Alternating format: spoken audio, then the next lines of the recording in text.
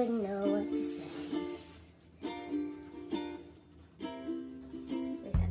All right, so uh, hey, welcome to the channel, and we're in a the Great Poutine. Oops, sorry, the Great Canadian.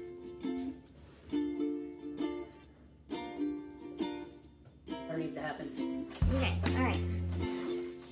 Okay. Hey, welcome to our channel.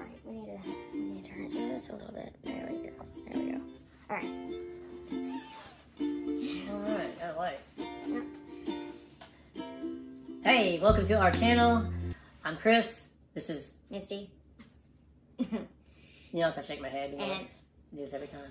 And we are Miller Time, Family, Foods, and Gardening. And so we are a part of the uh, Family Extreme Team group. And this month's challenge is the Great Canadian Poutine Challenge. Now, I've never heard of this this meal before. This is the first thing. I'm a, I'm a, I would consider myself a food connoisseur, but when it comes to other cultures, you know, you never ever heard it. I'm. It looks good. I believe it's going to taste good because what? Actually, uh, prepared it. Mm-hmm. What? Wow, honey. My wife's just. Don't be a weirdo. What? I thought it sounded like it's from Louisiana. And it kind of makes sense because there's French in Canada and then in southern Louisiana they're French too. So it's kind of weird that it's on opposite ends of, the United States, or not uh, North America. But it seems like it'd be something that would be eaten in Louisiana. So that's pretty This cool. is true. Minus the spice. My mom actually used to make something similar to this, except it was with eggs. It's fried uh, French fries and eggs. It's actually really, really delicious. Minus the spice. They, if this was a Louisiana meal, we would have tons of Cajuns and some sausage in there somewhere. Yeah. they're gonna have. They're gonna have their their uh, hamburger meat or something. something. Yeah, they're gonna add it. So anyway, so we're just gonna hit the start button, and we're gonna go on and see how long it takes us to eat this. I do want to mention again about my diverticula- diverticulosis so people Is understand. it locust or litis? It's, locust. it's diverticulitis when there's an infection, but there's it's diverticulosis whenever it's not infected. So Okay. um, if you see me on here and I'm doing challenge, uh, we're doing challenges and, and I'm very very limited or like I don't finish it or it just looks like I'm not even trying. It's because I have a condition called diverticulosis and um, about two years ago I um, had a bowel perforation and uh, it almost killed me. I was septic, dying, and I had to go to the emergency room. I had to have emergency surgery. I had like half a foot of my colon removed, and I had to be put back together. It was just really, really bad, crazy situation. Yeah, very tr- tragic and traumatic for a family. And so um, I'm not able to really push myself with foods. Like I get really nauseated easily, and my digestive system is very, very sensitive. I get infections really easy in my in my intestines, and so I have to be very, very cautious. But I do want to participate. So I am, you know, I'm not gonna be as extreme, you know, as most or you know most people can be or are, but I do want to try. So I just wanted to let you guys know that. So Now that the food is cold. Yes. Anyway. All right. But I think that's necessary. All right. All right. All right. You ready? Yeah. Oh, I can, I can see it over here. Okay. All right. Whoa, here we go. We're gonna hit that start button. Boom. Let's get down to it. See what we got. It is cold. Mm-mm. Where's that? I'm not finishing this whole thing, huh? How's that cheese? it's good. Mm-hmm. Try it. Pretty good.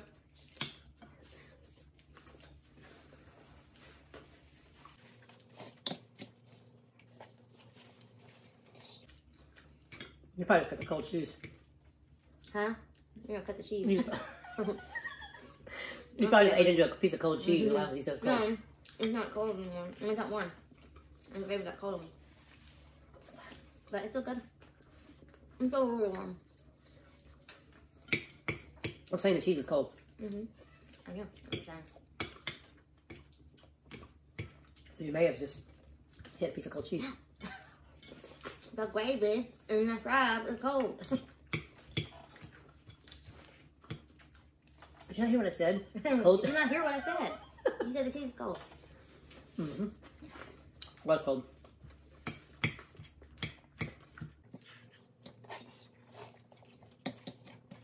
Mm-hmm. When she's almost stuck out there.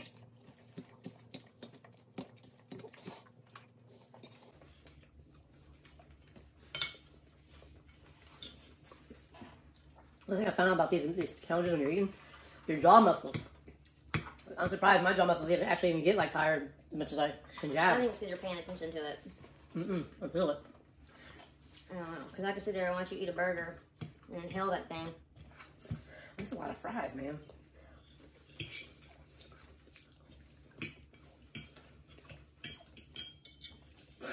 There was one time we went we went and got some uh, food from Whataburger, and we sat down, got our stuff ready, sit down eating and stuff, and we're talking. And Chris opens up his burger, I got mine, and I literally like I'm talking to him, and he's taking a bite of his burger. And I look down, and I'm like getting some more stuff ready, like on my plate, and I'm like taking a bite of my burger, and I look up, and all his like his whole burger was completely gone, and there's food splattered all over his face. It, he ate it in like two seconds. That's why he calls himself the vacuum cleaner. Mm-hmm. Like, do you make shoes up?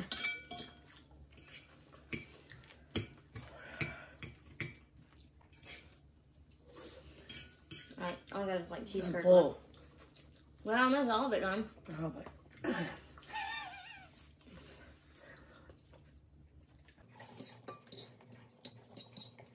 That's pretty heavy now. Mm-hmm. Mm.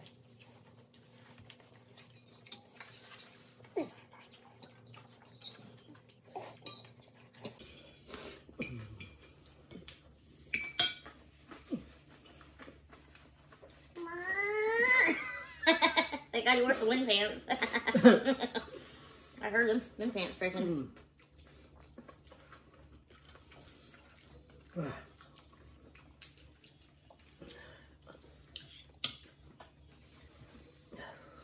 What was that? Let's see. I don't know that. I'm full. Four minutes, 42 seconds, You gotta show the camera to the screen, honey. four minutes, and 42 seconds. That's probably not even close enough either. Anyway, now I'm gonna go have my wife roll me to the bed. All right, guys. Thanks again for watching. Yep. This is Miller time. Bye.